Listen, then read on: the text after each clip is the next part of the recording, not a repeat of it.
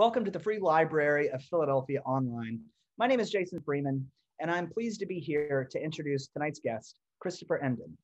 Christopher Emdin is the author of the New York Times bestseller for white folks who teach in the hood, and the rest of y'all too, a combination of theory, research, and practical application that offers a helpful approach to teaching in urban classrooms of color. Also the author of Urban Science Education for the Hip Hop Generation, he created the hashtag, wait, there you go, hashtag hip hop ed social media movement and the Science Genius Battles program, which uses rap to engage students with science. Uh, he is a professor of science education at Columbia University, where he is associate director of the Institute for Urban and Minority Education and director of the Science Education Program. He is here tonight with his new book, Ratchetdemic, Reimagining Academic Success. Uh, in it, he offers a radical new educational model based on empowering students through the celebration of their unique identities. Um, one author and an author events office favorite, Jacqueline Woodson, praises it thusly. Ratchetdemic is a timely and essential resource for teachers, parents, and whoever else needs this compelling and accessible, and above all, absolutely refreshing take on pedagogy. Here's to more and more classrooms being filled with learning, healing, and joy. High praise. Uh, so let's get right to it. Uh, Christopher, thank you so much for being here, and the screen is all yours. Thanks for having me. Thanks for having me. Uh, I'm really deeply appreciative for the information. Um, the Free Library of Philadelphia is such an amazing organization, um, and the work that they do to not only highlight authors from multiple perspectives and multiple voices, but most importantly, to give folks the opportunity to be able to engage in in in, in the work with the authors. It's just uh, it should be celebrated. So I'm excited to be here today. Um, and you know, there when you have events like these where you're supposed to talk about your book and talk about your work. It usually takes a very um, formal structure. I want this to be informal. Um, I want this to be sort of like a natural flowing. So, you know, some folks may not have the book, some folks may have the book, some folks may have the audio book. This is not going to be me rehashing the ideas in the book. Uh, for those who don't have it, I want you to go get it so you can get into the, to the depths of it. But this is for me an opportunity to talk about, you know, the reason why I chose to write the book, um, the kind of ideas that lay behind the book that that, that sort of undergird the, the concepts and theories that that are in the book. How this book is an evolution of uh, my previous work, and and then maybe maybe talk a little bit about some of the narratives within the within the book that I that I think is important for folks to be able to pick up on. Um, the first thing I would say is that you know I'm an educator, right? I'm a, I'm a teacher. At the end of the day, a lot of folks have teacher as like a piece of their identity. You know, it's like you know I am a you know, a public speaker and teacher, or I am a, a, a politician or a pundit and teacher. I, I censor um, my, my identity as teacher, but I also view teaching and the enterprise of teaching and the idea of being a teacher as, as, a, as a way of being that, that many people can hold. Like to teach is not to hold a credential to teach, right? To teach is to be able to have a certain um, identity that, that, that, that is centered on being able to be a force in the world to allow information to be distributed to other people, to be able to be a, in service um, of the learning of other folks, to be able to ask questions, to pose ideas, and to make people feel as though aspects of who they are that need to be unearthed are unearthed by your presence. So I walk in the world as a teacher. And academic matters to me because to be a teacher has, in the contemporary world, been viewed as having a very particular identity, right? You know, teachers are smart and they walk a cer- certain way, they talk a certain way, they have a certain uh, degree, a certain credential, uh, a certain training, a certain understanding of curriculum, a certain understanding of certain understanding of standards. They they know their content areas. There, there are all these things that are attached to being a teacher that I feel kind of like obfuscates the, the, the, the, the, core thing about teaching, which is about radical honesty, radical truth, um, creating context for radical welcoming, and, and being a little bit, a little bit extra, a little bit loud, a little bit, a little bit um, performative. And I think that the best teachers in the world, whether they're in the classroom or in the world at large, having an element of their identity that is about being a little bit more. And that little bit more um, is a piece of the self that society oftentimes pushes to the margins and says like not welcome in academic spaces or not welcome in intellectual spaces. Um, you know, you know, like you know, a person who comes to the world who is an amazing storyteller is not necessarily viewed as a teacher per se. They're a storyteller outside of being a being, being a teacher. A person who has a way of commanding an audience. Uh, a person who who works in the pursuit of of of, of radical freedom and, and and social justice for the world. Um, is viewed as something other than a teacher. And like my work is about, yo, we got to bring them worlds together. And those worlds come together when we identify that not only are there folks who are amazing teachers beyond those with a teaching credential, but there are folks who are amazing teachers who who don't at all fit within what is perceived to be um, the, the, the, the, the large intellectual tradition. Uh, in the book, I write about early, you know, the folks that I've been inspired by to help me be a better teacher. And, you know, I talk about um, bus drivers and cabbies and, and Pentecostal black preachers and, and, and, and, and, and, uh, and barbers and, and, and, and sisters in a beauty salon and, you know, all these folks who have a way of commanding the interest of an audience. Uh, these folks who know how to be able to sort of manipulate their voice in just the right way to make somebody who is a client want to keep coming back for more. I mean, folks who go to the hood and go back to a barber that's giving them a bad haircut year after year because they feel comfortable in that barber's chair. And there's something that that barber does that I feel can be identified as being a little bit ratchet. And so in a book, like I really redefine or define rather, you know, ratchet. You know, for me, ratchet is a way of knowing, a way of being, a way of expressing. It's also, um, and I write about this in Ratchetdemic, like it's also, if you come up from, from a, a certain sort of Northeastern hip hop tradition, you know, to be ratchet is to, you know, or to have the ratchet is to have a, a, weapon, a secret weapon. You know what I mean? Like phrases like, don't be tripping, I got the ratchet on me, means that this person has a weapon, um, oftentimes a gun, and that, that, that, that ratchet can be released and revealed at any time and when released and revealed, can invoke attention for good or bad in another audience. And then I I also draw from like a little Boosie esque, New Orleans esque, um, Southern tradition of ratchet as a, you know, as, as somebody being a little much, you know, a little, a little, a way of knowing and being. I even critique these, um, these, you know, YouTube videos of, of, of, of, of brothers, men of color, who in many ways are sort of like performing a caricature of black women in a way that is problematic, but saying that those sisters are ratchet. And so for me, I think about ratchet as tool, ratchet as weapon, ratchet as a way of knowing and being. I want to bring all those things together and say that to be expressive and be honest and authentic and to be raw and to be pure in the sort of Southern tradition um, is, in the Northeastern tradition, a secret weapon that can be utilized as a tool to unleash the intellect, the magic, and the academic potential of particular populations. So ratchetdemic is a way of knowing and being that says these binaries that are constructed that separates being ratchet from being academic,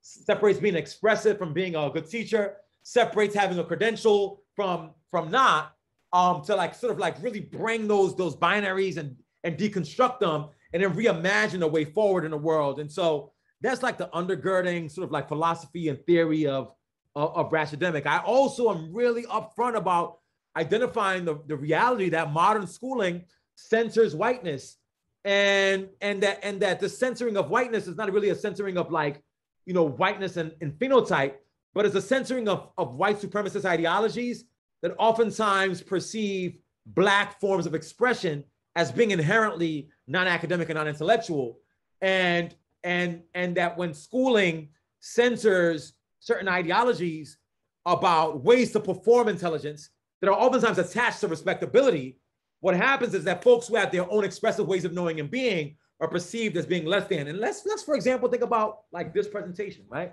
You know, you know, I, am coming to the Free Library of Philadelphia. You know, I'm not wearing a tie. You know, I'm not wearing a dark suit. You know, I I, I kept my hat on.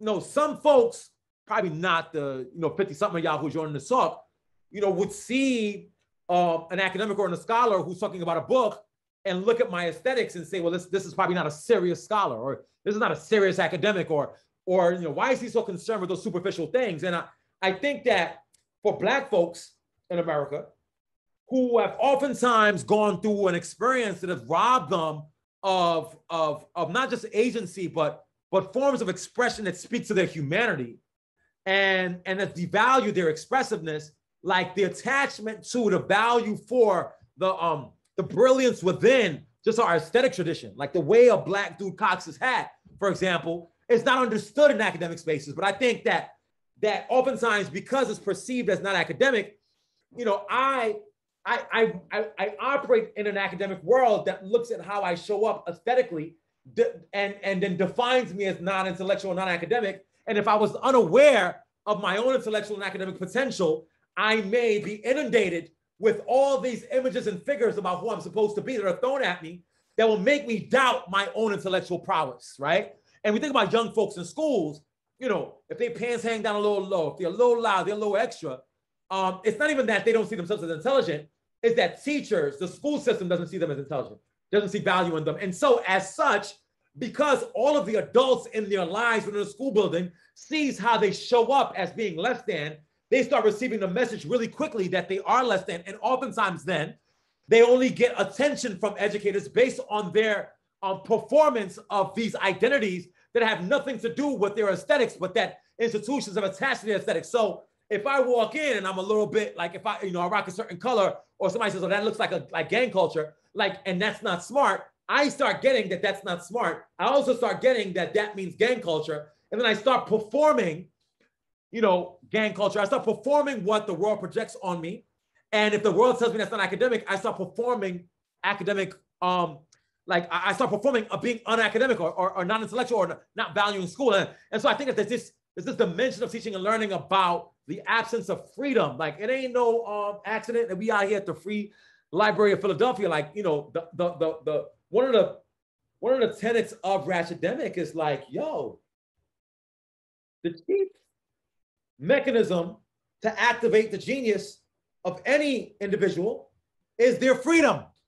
Like I gotta feel welcome, comfortable, and free to be myself first before I can soak in information. And so I write in a book about that phenomenon. And I write about the kind of like um, the, the, the, how taxing it is and how emotionally and psychologically draining it is to always have to perform a version of yourself that you're not um, to be seen as as as smart. But but what I what I try to do in the book is not just talk about this in the context of teaching and learning as it relates to students. I'm also very explicit in the book about talking about teachers and how teachers themselves learn to perform some version of teacher that is not who they authentically are for the sake of acceptance by the, the, the, the, the infrastructure, the infrastructure of schools.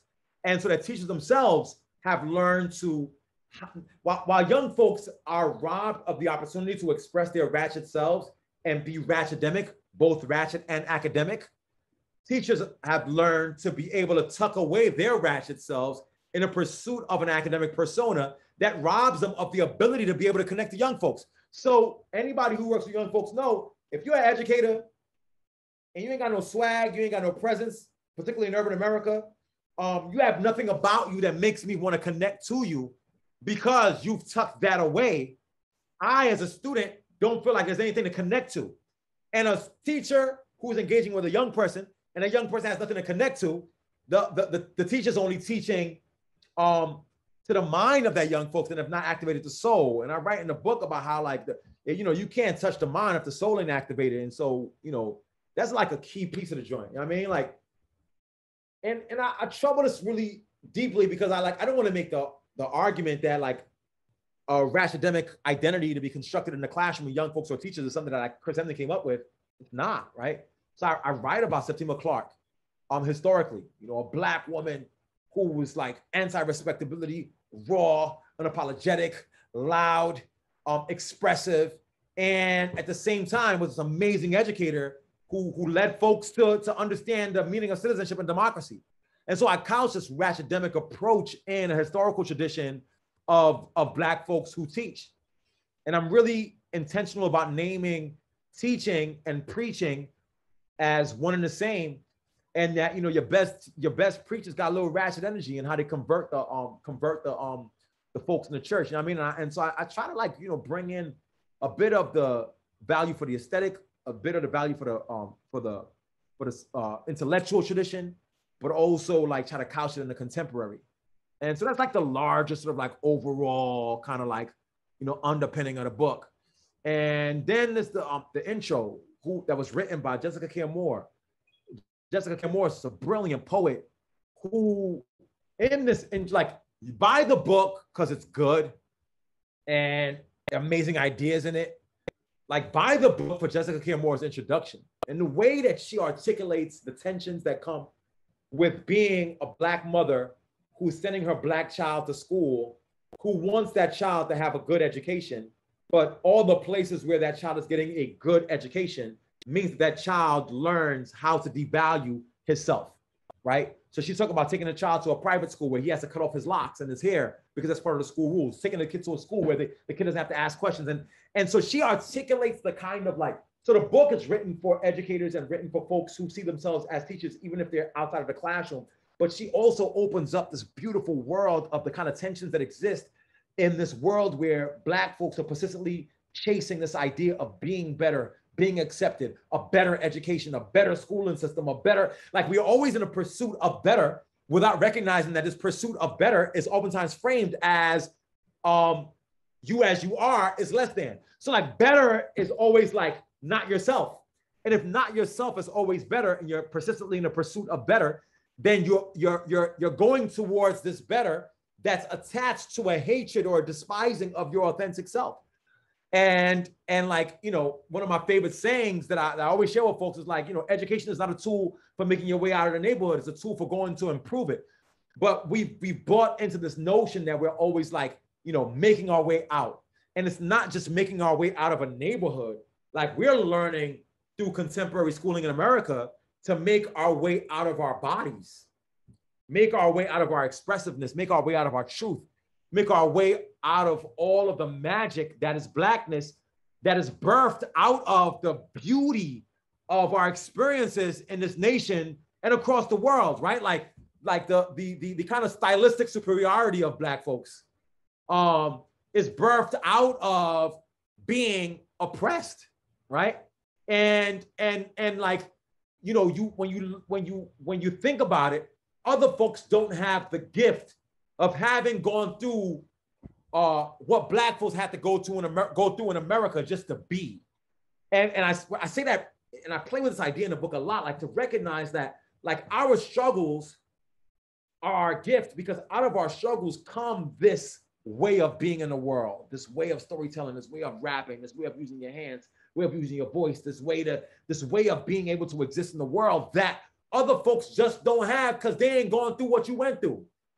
And for those folks who've not gone through what you went through, when you learn to let go of the things that made you who you are, what inevitably happens is that you are now pursuing the less thanness that they are. Like they hold a credential, you hold a credential. Now you're having conversations with folks who hold the same credential as you do based on their norms of what it means to be academic.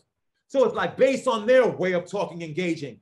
And so they've convinced you to let go of who you are in the pursuit of who they are, utilizing their rules of engagement. So their rules of engagement judge what you are. So even if you got the credentials they got, your, your credential has less value because your ways of knowing and being are not what they have. So my argument is like, yo, if they ain't gonna let you in the way you are, you might as well be as smart as they are and hold your truth, right? And so it's the pursuit of of of of of learning, the pursuit of knowledge, the pursuit of um the pursuit of of of like of, of being uh, informed about the world without all the whackness that comes with it.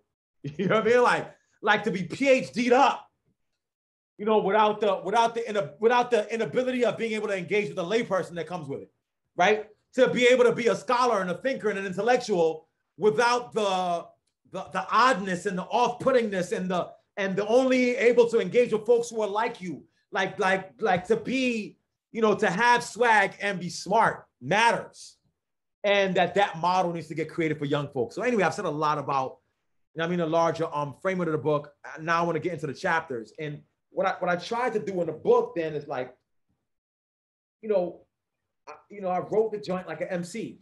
Um, which means like you know they're, they're lines that you know like as, as a person who loves hip hop, you know, the best hip hop songs to me are those where you you you hear the song for the hundredth time and then like the hundred and first time you go back and hear a line all over again and you say, oh my gosh, that's what that meant.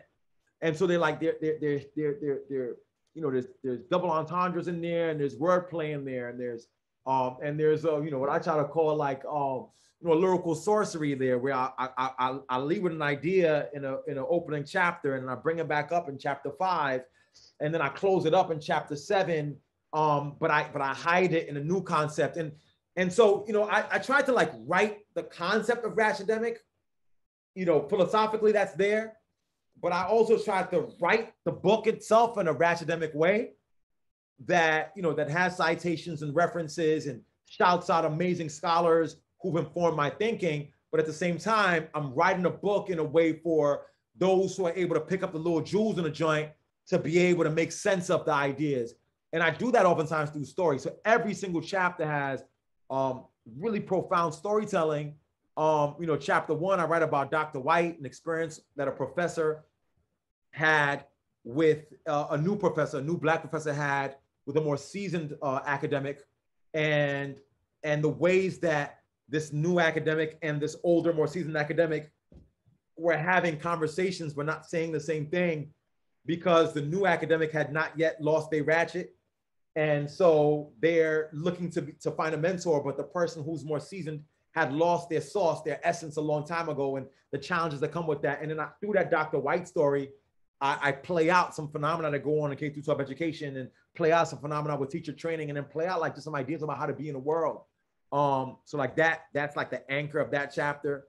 You know, chapter two is entitled Oreo where I, I, really draw this sort of like extended metaphor. So one of, one of my favorite MCs is Lupe Fiasco. What Lupe Fiasco does really well is that he he'll he'll drop a, a, a metaphor that usually another rapper would sort of exhaust in two lines. And, and what Lupe does, like he'll extend that for a whole 16 bars.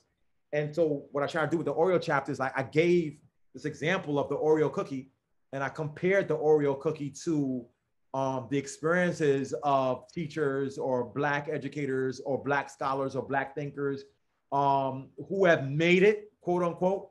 Um, they're credentialed, they have degrees, they have a job, they're a teacher, but yet they are holding up uh, the white filling of the Oreo. And so I, I, I really delve into this really um, rich metaphor of what the white filling of the Oreo stands for. I talk about the cream filling of the Oreo. I talk about Nabisco telling us the Oreo is America's favorite cookie, even though there's no actual evidence that that's the case. I talk about how brown cookies hold up white filling in the or like in the Oreo cookie, um, how, how brown, brown folks hold up white supremacist ideologies and oftentimes play that out in the world because they lost their ratchet. Um, and so like I really use that metaphor throughout. And for those who, who might catch it, like the first chapter is called Dr. White because the second chapter is talking about the white cream filling of the Oreo. And the third chapter that talks about Ratchet's tool talks about how does the or the brown cookies of the Oreo tether away from the white filling. And so like even the chapters, so there's like a there are narratives in the, the, the chapters are narratives. Then the um there's stories in the chapters, and then the chapter titles are giving you hints of where to come. And I'm, I'm just leaving that open for folks to be able to engage with. And throughout the book, I drop these concepts that in many ways, like as, as a more seasoned scholar now, it's crazy to say this, like, you know, there, there's so many powerful ideas that one one teacher, educator, or one scholar, one thinker in education cannot fully give give like you know give all to. And so throughout the book, I drop these concepts that I that I'm hoping that younger scholars can pick up and that teachers can pick up to utilize when they make sense of how they teach young folks. Like so, I, I you know I write about plantation pedagogies where I'm drawing connections between the education in the slave quarter, um, um, looking at Thomas Webber's work um, in Deep Like the Rivers, and talking about how the education in the slave quarter looks a lot like contemporary schooling and looks a lot like NCAA sports and, and how black bodies have been rendered disposable by this infrastructure that refuses to pay them, but actually makes them work on literally a field. And so, like, you know, you talk about slaves on cotton fields and you talk about young black athletes on football fields um, that, and, and that the football field is borrowing the same structure as the slave plantation, but also K through 12 education is playing that out as well. And we're not just talking about white folks who are like the slave masters. We're also talking about, you know, the house Negro phenomenon, which may be black educators in schools who are playing this out. So like, so I, I you know, I'll, I'll, drop a little jewel on that. You know, I, I talk about plantation pedagogies. I talk about uh, educational Stockholm syndrome, where, where, where a person who's been assaulted by an institution or insulted by a, by a, a, a criminal or whoever else develops these, this sort of affection for that institution. So I'm, I'm, I'm dropping these jewels throughout the joint, right? And like the hope is that that folks can take those ideas and concepts and run with them on their own, even as they're following this larger theme around uh, around ratchetdemic. So chapter one is Dr. White. Then from Dr. White, I talk about the Oreo with the white filling. So in many ways, Dr. White, that character, becomes the white filling of the Oreo, even though it's a sister. As I play the scenario out, and then you know, chapter three, Ratchet as tool, is where I start really, really playing with the concept of ratchet, right? Like you know, nodding to a lot of scholars who've done amazing work on ratchetness. Uh, you know, like uh, particularly sisters, like you know, t- like you know, Brittney Cooper's of the world, and and like uh, like just amazing scholars who are like playing with the concept of ratchet, and and um and and Therí Pickens, and and like I'm like offering my own contribution to that literature on on on ratchet as it relates to ratchet as a as a shared as a shared um a, like a, like as a tie that binds black folks you know what i mean even if they try to run away from it and and so like I start playing with you know Ratchet tool. I tell a story in that chapter about just like me going out and you know trying to buy a bed and buying this bed that I had to put together myself, as opposed to years of, where you would go to a furniture store and buy your own bed.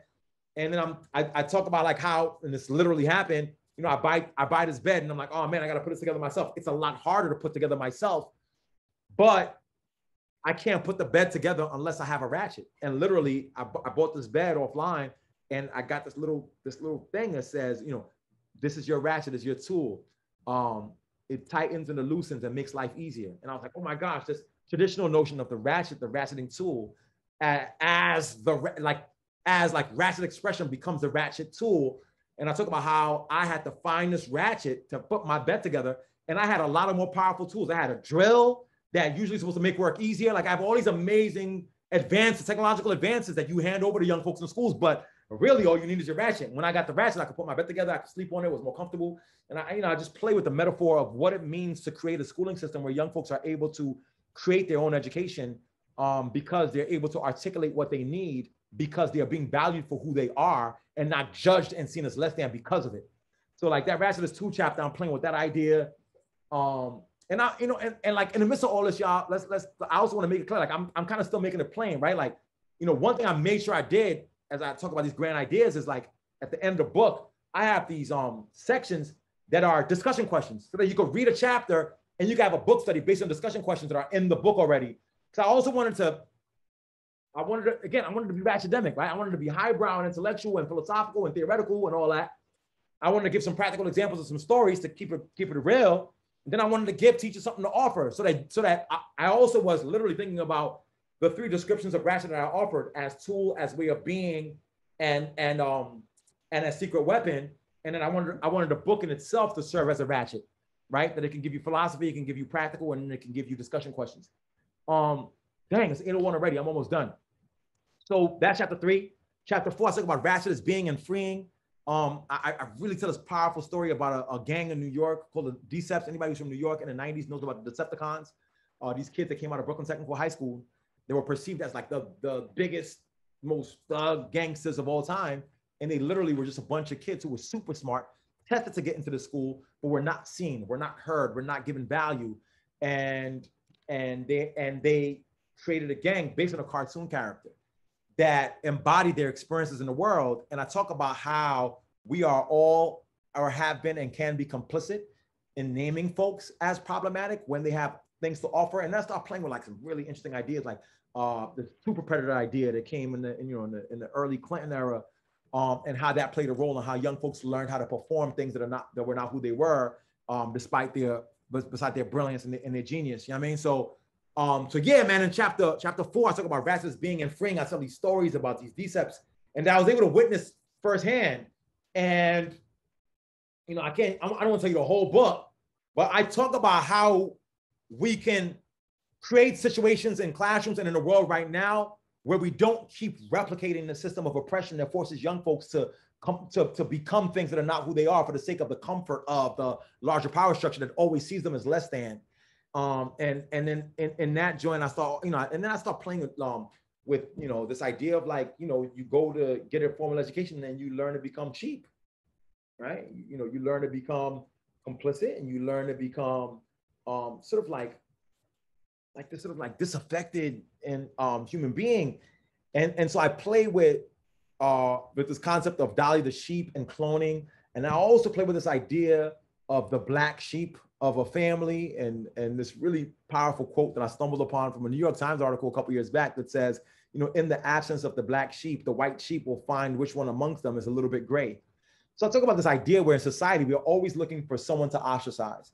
And oftentimes the pursuit of finding someone to ostracize leads us to create the sort of like whoever's like me is good, whoever is not isn't. And so I, I talk about sheep and excellent sheep and and schooling and and, um, and school graduation through that process. I, I'll you know, I tell us, I mean, I don't want to say like my, all my stories is ill, but I, there's another really powerful narrative in that chapter that you know y'all got to cop the book to um to read the joint. Um, so yeah, and then chapter five is this like centering anchor, right? Um, it's called Elevators, Haters, and Suckers it's probably my favorite chapter. Did I, did I say my Oreo chapter was my favorite chapter? I think this is my favorite chapter. And I just talked about, uh, you know, if like in my head, I'm like, if you buy the Dr. White narrative and why it matters to understand it, if you understand this idea of being an Oreo, you understand being is cool, you understand is being in frame and, and, freeing, you you after you've read the first four chapters, I've kind of tried to write the book in a way where at this point you are motivated to want to go do something in the world. Like you're motivated to want to go deconstruct the structures of traditional schools that make young folks feel disengaged. You know what I mean? And then if you feel that, you're I have to like I'd be I'd be remiss if I didn't equip you with a way of looking at the world to help you to be able to overcome the challenges that will come when you try to be academic, when you try to be both rational and academic concurrently. Um, and so I talk about elevators, haters, and suckers, and I use the elevator as a as an analogy to describe the folks in your life who are there destined to take you higher um, haters as those y'all know who haters are, who who just refuse to see you for who you are and the light that you offer the world, and which is and, and a lot of us are haters to young folks. And I talk about suckers who are fundamentally opposed to the notion of those who we see who society has deemed as less than ever becoming anything other than what you decided they should be.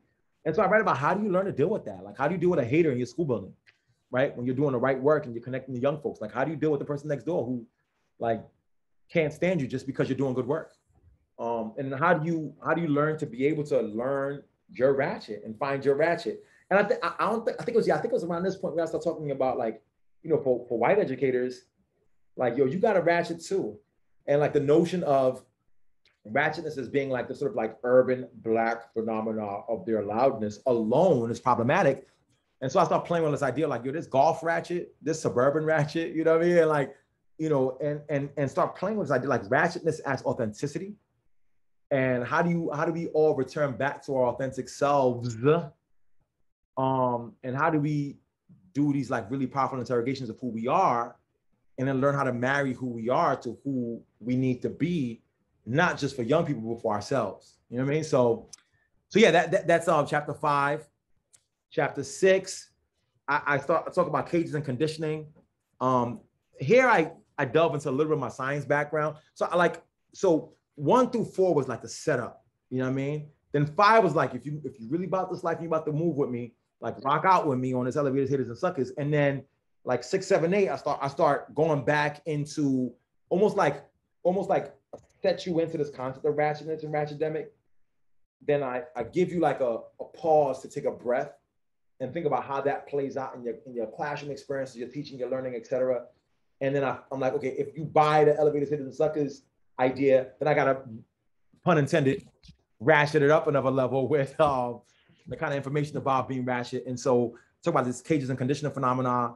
I delve into like epigenetics and and how you know certain populations have developed an either an affinity for or a or or like an aversion for not education, not learning, but certain forms of education and learning. And and about how that that historical and epigenetic biological phenomenon plays out in schools and classrooms. And so you could have a young person in the classroom who just like will not learn from an educator who refuses to connect, like just outrightly refuse. It's a child who loves learning but won't learn from you because you have not learned how to be able to engage on my cultural turf, and we don't have a academic exchange going on. And and I talk about how do you name that, how do you identify that, and then most importantly, how do you overcome that? Um, and so um, tell a story about mice in uh, biological research and and and and cages, et cetera. And it's it's a really, I think, uh, a really compelling way of making sense of how do you apply what you've learned in the first five chapters into a, a more deeper understanding of how to teach. Um, so that's that's the um, cages and conditioning chapter. You know, chapter seven, I build on that. Like I said, five is this hiatus, and then six, seven, eight takes you on another journey. So seven talks about clones and cloning and replication of ideas and um and, and talks about how the structure of schooling became what they are, why it is what it is, um, how young, how and why young folks respond to it. And I also like in that chapter, I start I start um, moving us towards the last of the chapters, which is now like a weaving of the concepts in the book together for the audience um, and folks who are reading it. Um, so yeah, so I talk about clones, cloning as a metaphor. Then chapter eight, soul wounds and white gauze. And in there, the anchor story is it, it talks about like, you know, like when, when a person is wounded, um, it's important for the wound to breathe. And it's a weird thing to say because sometimes when a wound is ugly, we have a tendency to want to wrap the wound up. And so I, I say, like, let's say ratchetness was birthed out of the wounding of particular populations. And they're, they're, they're, they're, they're experiencing a sort of epigenetic phenomena that causes them to respond to the world in very visceral ways, right? And which is what we name as ratchet. But once the ratchet, which is the wound, has been revealed, it's important for us to allow it to be exposed to the air, to, to breathe. But once it's exposed, I, we, we oftentimes try to wrap it up in white gauze and pun intended with white gauze it's like you know white norms or you know sort of like just button it up. And I, I, say if you try to cover it up the wound will either not heal or it will bleed through. And when it bleeds through on your pretty white gauze don't blame the wound for bleeding through. Blame you for not treating the wound allowing it to breathe.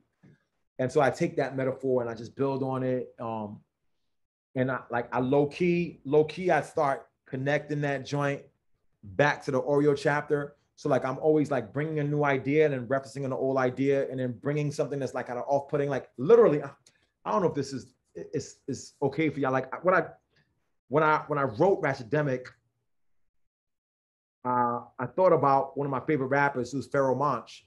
Pharoahe Monch has this really interesting cadence when he raps. It's like like it's like every other word can or cannot rhyme, the internal rhyme schemes, but at the end of the verse, you see the pretty picture. And so, like I wrote this like as an MC, and you know, I'm a I'm a hip hop educator, and it was really important for me in writing this. Like, I didn't want to say like, here's a hip hop book, you know, like that was lame. I think I think that that we are at a point with hip hop education and hip hop scholarship where you don't have to name it as hip hop for it to be hip hop. Like sometimes what your pen do, you know what I mean? Like when you write the bars, those who know know and those who don't know may not be familiar with it. Like some may read this book like oh it's a nice read.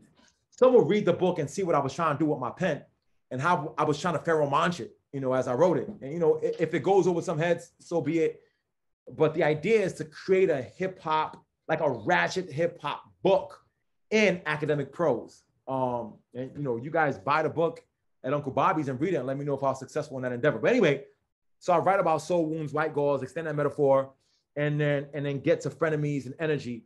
And in 2017 or maybe 18, I delivered a keynote at South by Southwest, and you know it's an ed tech conference for all these folks who profess to want to do well about education, but they're these, like these ed tech gurus who who may not who who so they profess to be friends of education, but come with a philosophy that's about making as much money off young folks as possible. And so when I wrote chapter nine, I literally based it off of that talk at um, that keynote at, at, South by Southwest, and and I, I, I so I, I came with the energy from that talk, but then I started connecting it to like W.E.B. Du Bois and um, his experience as a teacher in the hills of Tennessee and trying to go find a job at a school to teach and this you know, this girl named Josie, and Josie is this loud and enthusiastic girl about learning, Uh, but but the structures at play robbed her of of her expressiveness and her joy for learning. And over time, she ended up not getting a formal education because of life.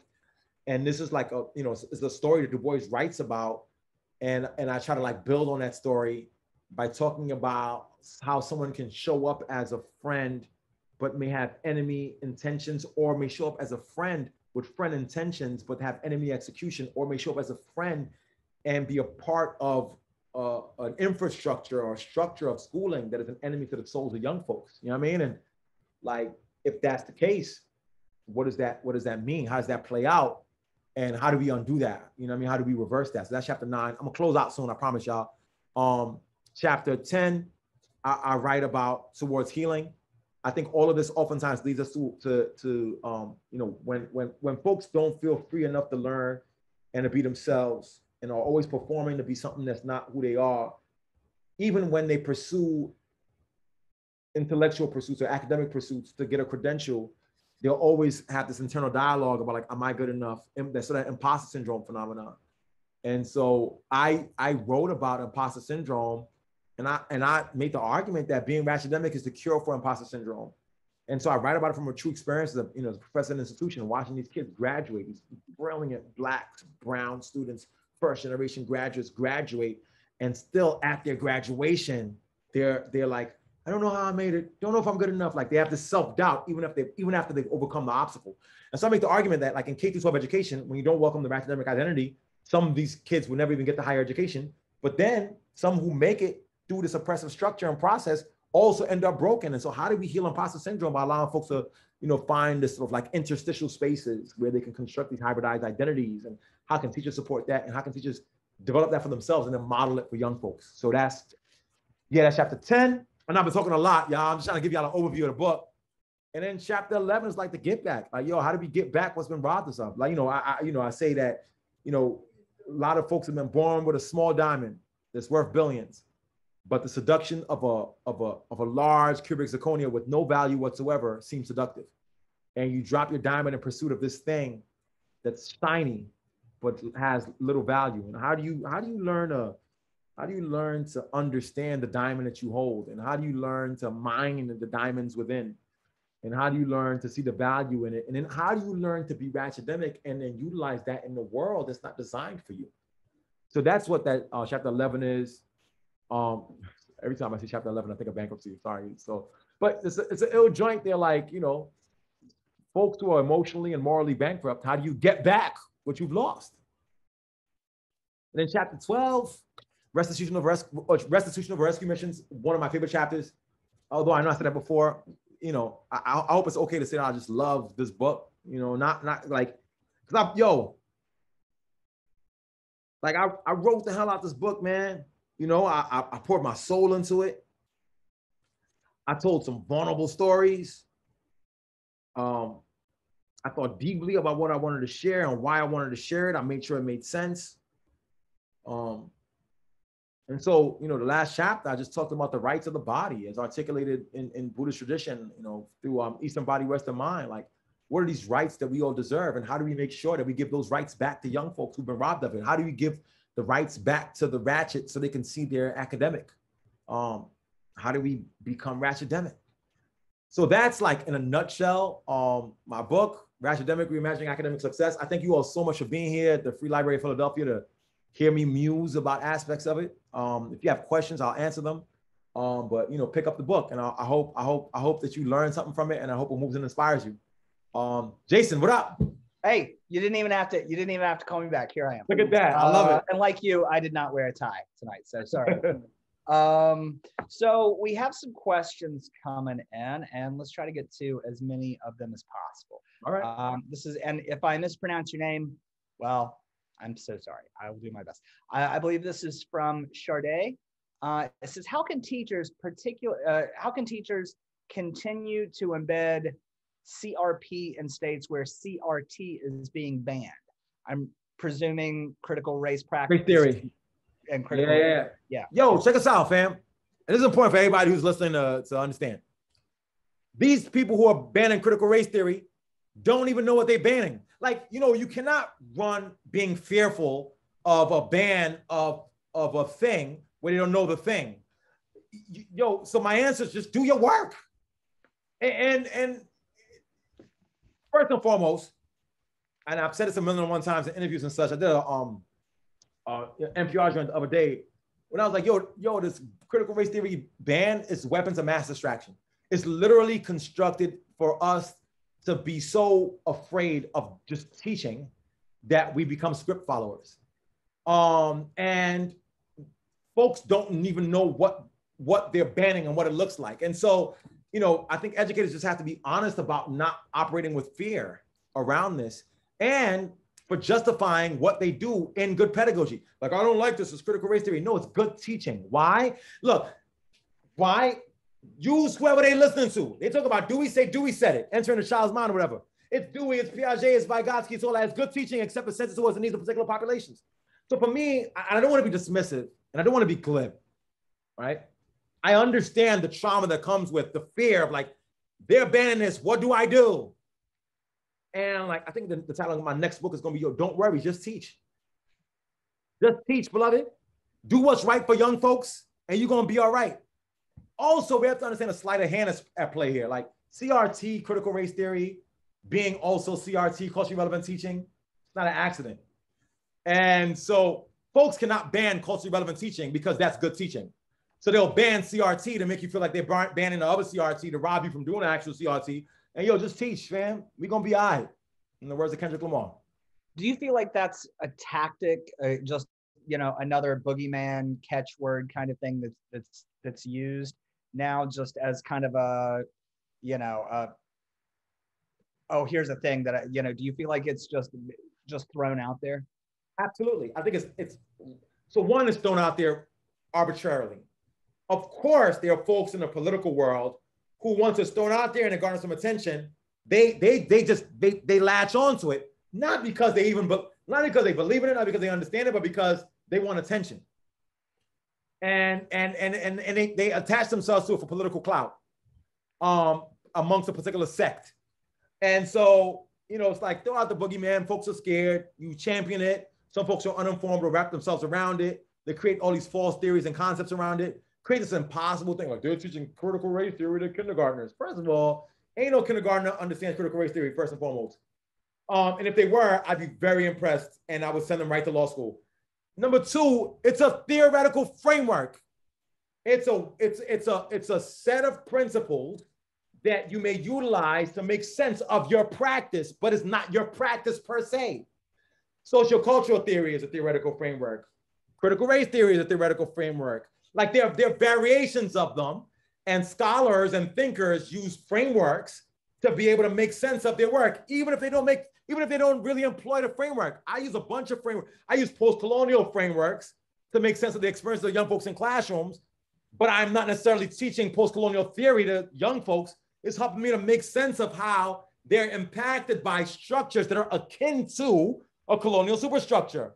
But it, as it plays out in the classroom, it's like, yo, if this colonial shit plays out in real life, historically, how do I make sure that young folks are seeing themselves as whole and welcome and not ascribing to structures that make them feel as though they're not smart? I'm not teaching postcolonial theory. Postcolonial theory is informing how I think about what I do in the classroom. That practical work is informed by the theory. I ain't teaching the theory, but my practice at the end of the day is just good teaching.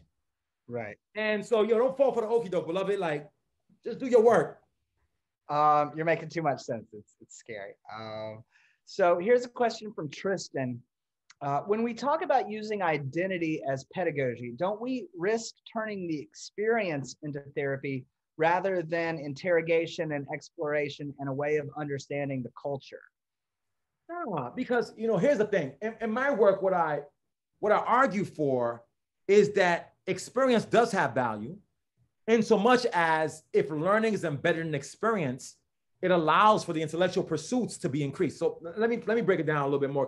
When I get the overview, I couldn't get into it. By the way, a lot of this is in the book. Copy the book.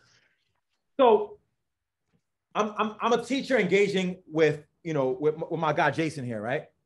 I don't know Jason. We met for the first time today. If I'm gonna teach Jason, I can teach him whatever I want to, how to balance an equation, for example.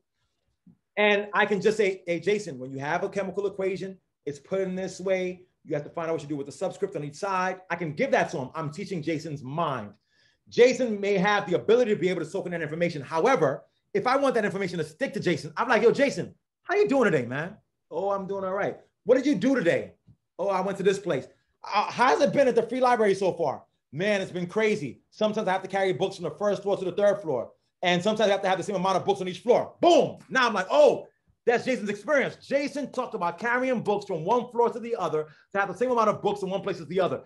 Through Jason's experience, the experiential knowledge becomes the anchor through which I engage in the, the content.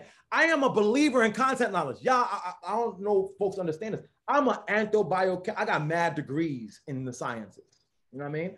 I love science. I teach science. I also understand that for me to teach Jason science, I have to value Jason's experience, Jason's reality. So I begin with the carrying of books across floors and having the same amount of books in each floor. Then I connect that to the content. And so people say, well, isn't experience just like a therapeutic release? No, it's a therapeutic, it's a therapeutic release of where you come from if you leave it there. My work, as opposed to other folks' work, like I don't end at the hugs. I love the hugs. But I, I begin with the hugs. Then I say, how do we engage in the hugs as it connects to being successful academically, intellectually? I want black and brown kids getting degrees. I don't want them to be smart. I want them to be intellectual. I just don't want them to do it at the expense of their humanity. And that requires censoring the experience. Hence, my framework for reality pedagogy, which is how the teachers make sense of the realities of young folks' experiences. Now, we can articulate our realities, but our ratchet realities are our core identities like the, the piece of ourselves that sticks to your gut. So you go beyond, you know, I think don't devalue experience, is what I'm trying to say. Experience becomes the entry point to have conversation about culture. Culture becomes the entry point to forge connections to content. And once connections to content have been made, you open up the space for you to be able to get people to be able to engage in anything academically intellectually. And here's the thing otherwise, you're, by, you're, you're battling them the whole time. I'm telling Jason, Jason, why don't you understand what's to do with the subscript? Jason, just do this. I'm, I'm, I'm trying to feed Jason's mind and I ain't touch Jason's soul. And the soul must be activated through experience so I can open up the capacity of the mind to engage in the rigorous academic exercises. Excellent. Thank you. Um, okay, we'll try to get to as many of these as possible. This is from Cheryl. What chapter would you recommend I share with my students? I love what you're sharing and the various stories you share. Uh, I will be using this book uh, with them. So, uh, which, give thanks, man. I, I love that. I, I, I, don't want folks to understand, like, you know, people oftentimes say, like, you know, I'm this is a book for teachers. Nah, it's a book for anybody who engages in the world. It's a, it's a, it's a good, it's a book for anybody who's in the pursuit of success or better and and and loses themselves in the process and need to remarry themselves back to themselves. And it's a book for young folks. I think young folks can, I think young people can understand that Oreo chapter. You're like, I, I think that chapter, they can make sense of it, they could decode it, they can make applications to how do you think it connects to your life or your experiences. Like I would, I would do the Oreo chapter. Um, oh, definitely the elevators, haters, and suckers chapter. So like that chapter is like how like these are these are to me, it's like it's it's the map for how I navigate life. And I think if young folks, if all folks understood how to deal with the elevators in their lives, the haters in their lives, and the suckers in their lives, and, and, and develop the discernment to be able to treat folks accordingly, like life would be easier. So I would say either the Oreo chapter or um or the elevators, haters, and suckers chapter if you want to give to young folks. Okay, uh, K. Maria Boswell asks, is it possible to view imposter syndrome in this context as a maybe necessary part of the self-talk owning one's ratchetdemic reality. Yeah, now yeah, like I'm not, I'm not. So, I, and you when you when you get to the joint, you see that I'm not demeaning the concept of imposter syndrome. It's real. I know it's real. I felt it, right? So, I like, I, I I do think that we can sit in that feeling, and then understand why we have that feeling, and then understand who's made up, who's made us have those feelings, and then question whether or not those feelings are legitimate or not. And and then and then come out on the other side of it, understanding that 98% of the time, you you are suffering from a syndrome that like is not real because your excellence surpasses that. And the folks that you're that this is the thing I'm trying to get at in this book and in, in, in, that, in that chapter where I talk about about this journey is like the folks who you are judging yourself by, like you're like, oh my gosh, look at those excellent people who who are making me feel like I'm an imposter and I'm not as good as them. Them cats is whack. Like the nine times out of 10, the people who you're comparing yourself to as being better than you ain't better than you. Like one of my favorite sayings, the only person better than you isn't better than you. Once you've done the self work to understand the self within you, you start realizing those folks is trash. And you can do exactly what they do academically and intellectually, except with a certain je ne sais quoi that, that allows you to be able to elevate your ability to engage in academic content, right? So, so no, so so so yes, imposter syndrome can be a seedbed for more deep interrogations of self. It should be a trigger for a questioning of the circumstances one is embedded in, so that one can get an accurate read of who they authentically are and recognize that oftentimes um, the folks who are judging you are the imposters because they ain't got no ratchet. Um, so there's two questions I want to get to here, and we're a little pressed, but we got we could go a little bit over. Um, and there was a there's a good one to end on, but I wanted to hit this one first from Eric Newman. I'm a 40 year old white guy who grew up in the suburbs. Uh, I teach remedial math at an urban community college. My classes are typically third white born in the US, a third black born in the US, and a third immigrants from across the globe primarily majority Muslim nations. I find it hard to connect culturally with the entire class at one time, and my attempts to switch between different aspects of my personality seem to come off as inauthentic pandering because we don't know each other well enough to recognize the complexity of our authentic selves. Advice for being ratchetdemic in this multicultural setting. Be don't try to be like them, try to be like you. Like I, I it's it's it, like literally so there's a there's a there's a section in the book where I talk about golf ratchet and the stories that I was giving a speech about ratchetness to this dude, white dude. Um, and he was like, I don't understand why we talk about ratchet. It's absolutely ridiculous, blah, blah, blah. And the, the story ends with him saying, Oh my gosh, I have a friend and my friend is golf ratchet. And I was like, Golf ratchet? I don't know about this. And as we talked further, what he meant was he had a friend who he played golf with who had like an awful swing and did not understand any golf decorum and he would not take him out on a golf outings with his golf friends, but like played the game well. And so what I would say is like, oftentimes what we do in those multicultural settings is trying to find ways to use our personality to connect with different audiences. And that's not what I'm asking us to do. I'm asking you to do a deep interrogation into who you are. Like, so I'll, I'll say to you, like, who are you when you're home with the folks who love you the most?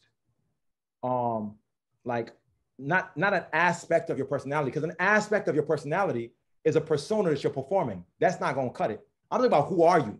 So like and that's where the deep sufferer comes right? So who am i with the person who loves me the most? When, when i want my children am i am i jovial? Am i a storyteller? Am i kind? Am i loving? You tap into that self. In the last chapter of the book that talks about the rights of the body once you start doing the work of giving yourself the right to be here the right to see the right to love and be loved your authentic self emerges you, we are only experts in our own selves and our own experiences. We must learn to lead with our authentic selves first. Now, what you'll inevitably find happening is that once you show up as your full self, as the instructor, you give your class the permission to show up as their full selves. So you're, you're performing, they're performing, no one's learning. You're your full self, unconcerned about them, just fully you. Then all of a sudden they're like, yo, this person, he's like, he's himself. I'll give an aspect of myself. Now, all of a sudden, the, you, you start developing. So the currency is the authenticity, not the performance of what you might think will make other people feel comfortable. And so I would just say, yo, dive more deeply into you, so much so that you give them no choice than to be themselves. Then all of a sudden, authenticity has conversation with authenticity.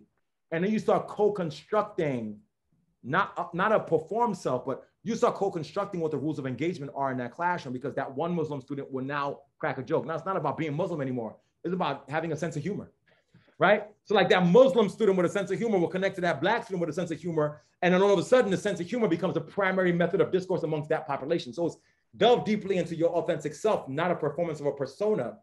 And that will give the class permission to be themselves. Then you start constructing what the rules of engagement are around expressions of authenticity in the classroom. Um, and yo, for for the for the brother who just sent that message or anybody else, hit me up on on um Twitter or something so we could keep the conversation going because I know we're about to run out of time on here, and we'll, we'll keep the conversation going because I don't want to give like short answers like I have all the answers. I do want to give like some nods towards where you can go, but engage with me on on socials and we could go in even deeper. Okay. Well, that was from Eric Newman. So if you hear from him, you hear you hear from him. All right, Eric, I see. I think that's just good life advice in general. Um, what you're talking about. So, um, so as I was reading the book, I, and and I think this is a good way to end on sort of the practicality of bringing this. I started reading it, and I I, I find the ideas really interesting, and I, I was asking myself, um, how do we bring this, you know, into reality? How do you bring this to places? And uh, the, last question I, am able to get to here says, uh, it's kind of on the same note, um, but it's about, again, these practical matters of what are your suggestions on how to move a high school away from hyper focus on standardized tests uh, to more authentic forms of learning, um, you know, such as such as this framework that you're talking about. How do we how do we bridge that gulf, you know, between theory and application, between this idea and and and and and bringing it to schools? So a couple things I would say, you know, um, for white folks teaching the hood, which is my previous book, outlines a set of really practical, tangible practices for teachers to be able to implement every single day that can get us there. Ratchetdemic offers the things that wrap around those practices. I, I really feel like a combination of those two books in the hands of any educator will give you a way to bring this down to like the, you know, to the soul of it. It's the first thing I'll say. The second thing I'll say is like ask them, is what we're doing working? Like, here's the thing that bugs me out the most, Jason. I'll be in a school, they're doing this age old drilling, kill, test, prep, respectability, pass the test, drill, whatever nonsense. And the test score is still trash. And I'm like, yo, fam.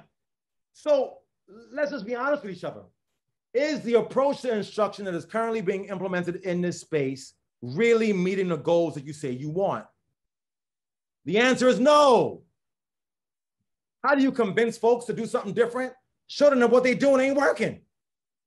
Like seriously, it, it's it's that simple. I think also another piece of it is, you know, what inevitably happens when you create the kind of context that welcome a ratchetdemic approach to teaching and learning is that young folks have agency, have voice, and they want to be able, to, and they they they like they're like, man, I want more of this. And I always say, if you want to convince folks to do a different approach to teaching and learning, let the young folks who've been impacted by the good teaching articulate it. You know, it shouldn't be a bunch of teachers saying, I did this and my kids are learning. Okay, fine, the kids are learning. Let the kids, let the kids talk to the world about how they're learning. The best evidence of my work is the kids who are in Science Genius writing those science raps and performing them on stage and graduating from college. What now when the evidence of what you said you wanted is happening? And I'll make the argument a lot of folks keep doing the same thing and saying they want different results because they don't want different results.